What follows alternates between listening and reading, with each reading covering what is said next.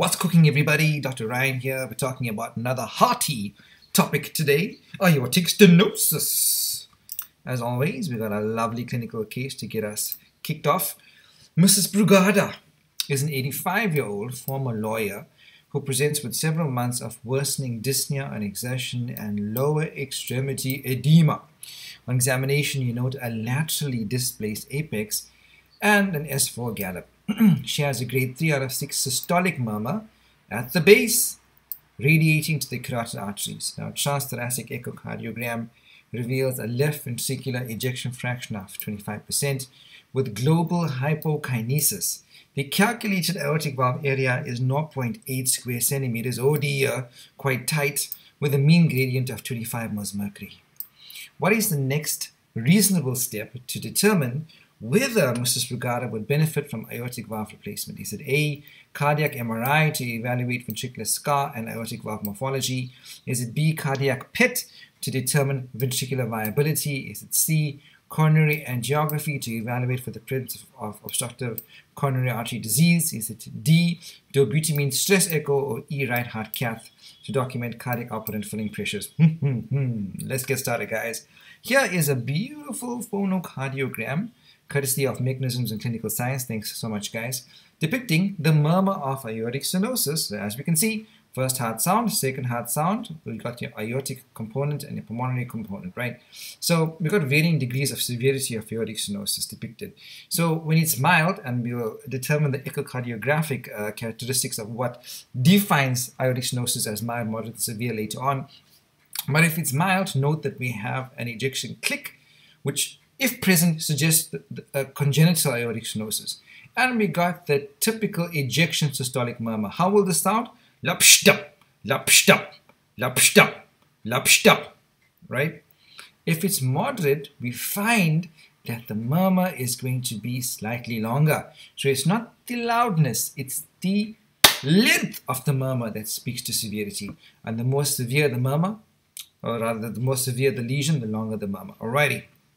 So here is a nice uh, cartoon depiction of aortic stenosis mentioning the essentials. Thank you, uh, uh, Mr. Muniz et al. from medcomic.com.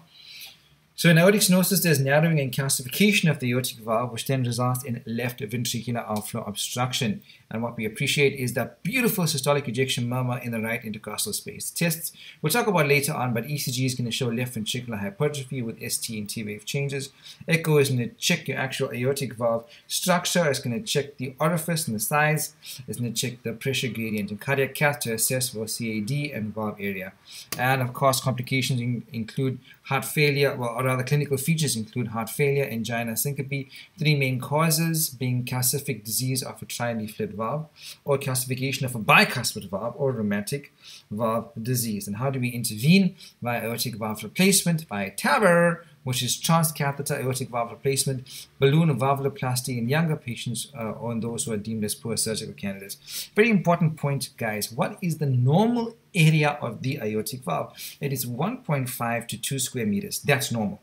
Now, in severe AS, if the area is going to be below 1 square centimeter or the valve mean pressure gradient exceeds 50 moles mercury, that's severe. And critical aortic stenosis is even worse, even tighter, when the aortic valve area is below 0.7 square centimeters or the valve pressure gradient is a whopping 70 millimeters mercury and above. Okay, what are the differentials for an ejection systolic murmur? Well, I'm glad you asked. Pulmonic stenosis and HOCM, hypertrophic obstructive cardiomyopathy. What are the clinical findings in pulmonary stenosis? Well, you're going to have a systolic thrill in that pulmonary area. You're going to have a left parastern lift and epigastric pulsation. Why? Because of right ventricular hypertrophy. Alrighty, remember that the right side of the heart handles volume better than pressure. So if you have increased pressure on the right side, it decompensates very quickly. Alright. We also note that in the setting of pulmonary stenosis, uh, the pulmonary component of the second heart sound is soft and A2 is actually normal. And you may have wide splitting of the second heart sound because of uh, delayed emptying from the right side of the heart because of the obstruction to outflow on that side. So P2 is going to close later on, which gives you wide splitting of the second heart sound in that area. We may have the ejection systolic murmur in the pulmonary area, which radiates to the left side of the neck, and the murmur, as we know, is more prominent on inspiration, something we call Carvallo sign. And the apex, however, is normal and not heaving as in aortic stenosis. So these are the definitive clinical characteristics of pulmonary stenosis. What about hypertrophic obstructive cardiomyopathy? HOCM? So here we find that the pulse is going to be jerky, all right? And you have a prominent A wave from the jugular venous pulse. There's a double impulse at the apex. Why is it double? Because you have the normal um, apex beat, which indicates ventricular systole, together with a palpable fourth heart sound because of left atrial hypertrophy. You may detect a systolic thrill in the left lower parasternal area. And when speaking to the patient, they may say, listen, I've got a family history of HOCM, or there may have been a history of sudden death in the family, which alludes to HOCM. Does the loudness of a murmur indicate severity in aortic stenosis? And the simple answer is no. And we showed that on the phonocardiogram. That is actually the length of the murmur or prolongation of the murmur that denotes severity. The longer the murmur in systole, the more severe is the stenosis. Uh, so a loud murmur may be associated with mild stenosis. What is the type of pulse that we get in aortic stenosis? It's described as plateau or anacrotic, which is either slow rising, small volume, which is pulsus parvus, poor, small volume, or it can be late peaking, which speaks to pulsus tardus, tard, like you know, retard is to, to, to, slow something down, to retard it, pulsus tardus. So if it's small volume, it's parvus, oh shame. If it's tardus, it's slow, oh shame. Okay, why does anginal pain occur in aortic stenosis? Good question to ask. Because in aortic stenosis, uh, there is left ventricular hypertrophy, and this imposes a greater oxygen demand on your poor ventricular myocardium. And also, at the same time, because of narrowing of the aortic valve orifice, there is diminished flow through your coronary vessels and diminished um, supply of blood to ventricular myocardium and reduced cardiac output. What are the types of aortic stenosis? There's valvular, subvalvular, supravalvular. Valvular, subvalvular, supravalvular. So valvular often involving the valve cusps. Subvalvular, in which case there's a membranous diaphragm or a fibrous ridge just below the aortic valve. Rarely supravalvular, where there's a narrowing in the ascending aorta or fibrous diaphragm just above the aortic valve. And often this happens, or not really often, but very rarely, in the context of what we call Williams syndrome, where the supravalvular AS is associated with a characteristic face, such as a broad forehead, widely set eyes and a pointed chin together with mental retardation and hypercalcemia. Alrighty, what are the clinical presentations of aortic stenosis? Well, some patients come in and they are completely asymptomatic, but that usually is a mild case. Uh, patients complain of breathlessness, mostly on exertion, and we grade that according to the NYHA scale, palpitation, and palpitation, as you know, is married to syncope, syncope during effort, and why do they have this, pray tell?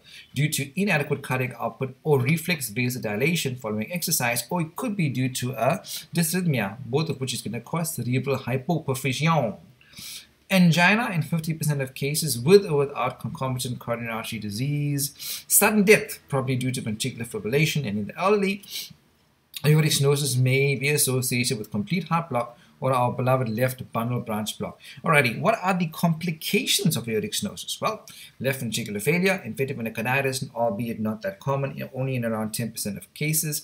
Sudden death due to ventricular fibrillation, complete heart block, especially in the elderly. Why? Because of calcification of the aortic valve and systemic embolism.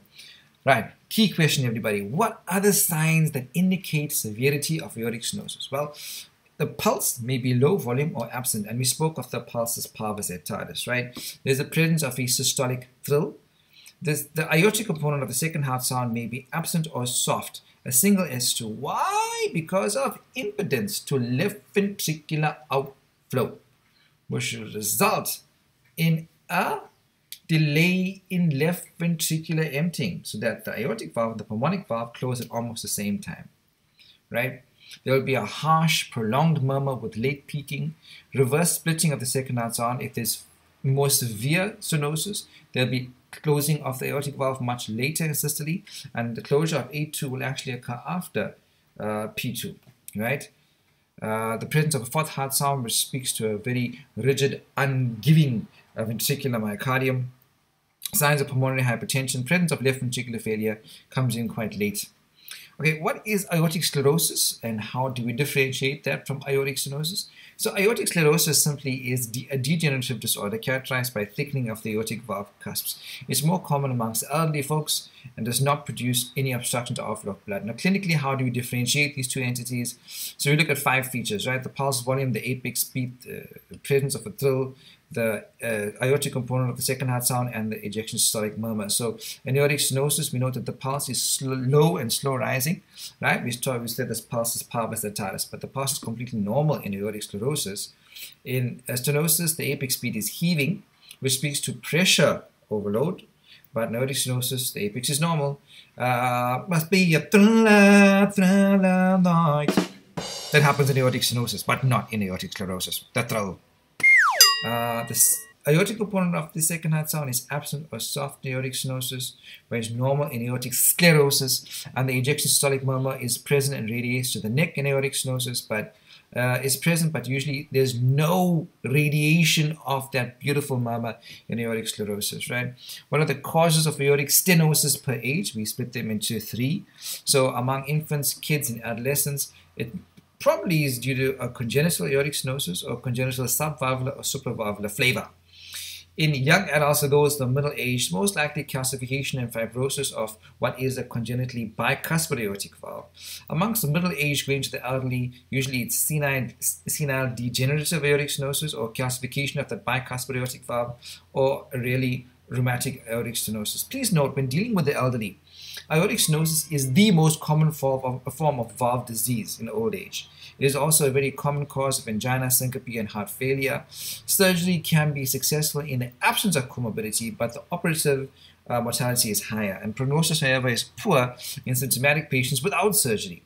Biological valves are preferable to mechanical valves simply because anticoagulation is not required. How do we investigate aortic stenosis? Good idea to do a chest x-ray, which could be normal in the early cases, but what we will see uh, with stenosis is an enlarged left ventricle and a dilated ascending aorta, together with calcification of the aortic valve from the lateral view.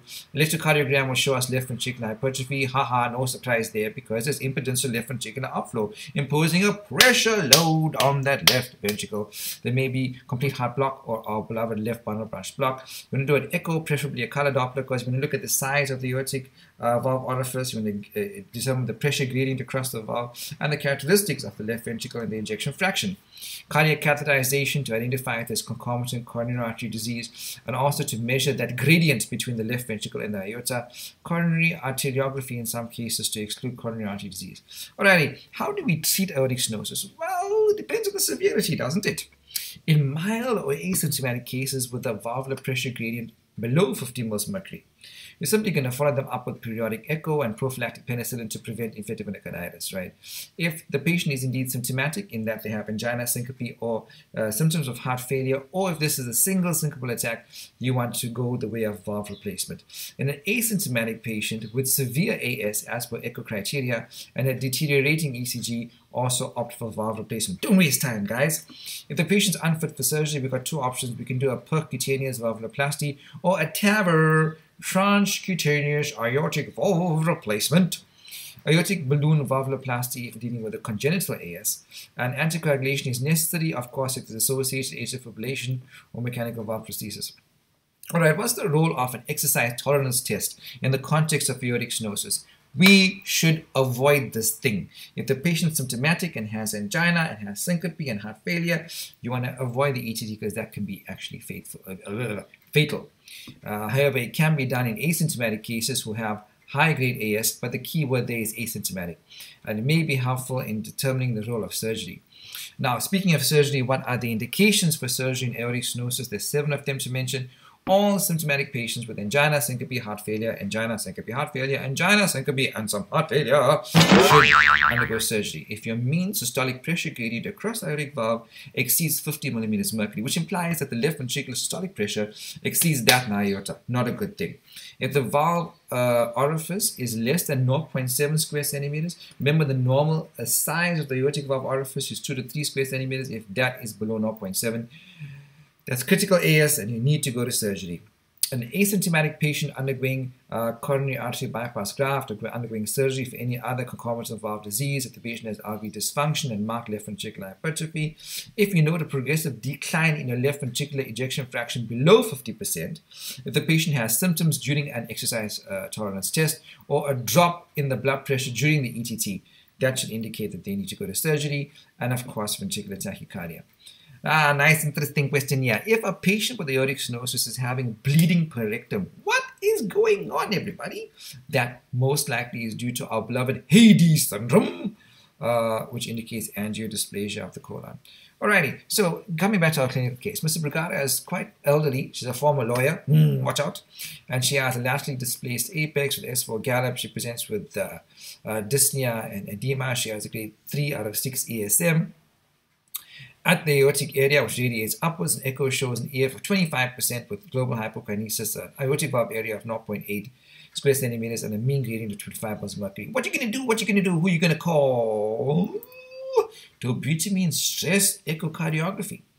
Remember that what Mrs. Brugada actually has is evidence of this beautiful clinical entity called low gradient, low flow aortic stenosis. Now, from a conceptual standpoint, the aortic valve area during systole is largely dependent on two things aortic valve morphology, example, a calcific aortic stenosis with restricted leaflet motion. And the second thing that determines uh, the area is ventricular contractile force. Now, even a normal aortic valve is going to open very little if that left ventricle contracts very weakly. So it is difficult to ascertain whether the valve area is low due to either uh, ventricular contractile force, which is diminished, or aortic valve morphology on a resting echo. The echo is not going to tell you much. Therefore, you want to do a dobutamine stress echo, which will help you to differentiate between these two. Okay, now that we're talking about the heart, I want to talk about the heart from a scriptural uh, uh, perspective, right? Uh, Jeremiah poses a good question to us in Jeremiah 17:9. He says, or he asks rather, who can understand the human heart? It is too sick to be healed. Jesus tells us in, uh, in Mark 7, verse 20 through 23, that it is what comes out of a man that makes him unclean. For from within, from a person's heart, come evil thoughts, sexual immorality, theft, murder, adultery, greed, malice, deceit, lewdness, envy, slander, arrogance, and folly. All these evils come from inside and hence defile a person. I pray that we will keep a clean thought life. May our inner life be circumspect by the power of the Holy Spirit working within us.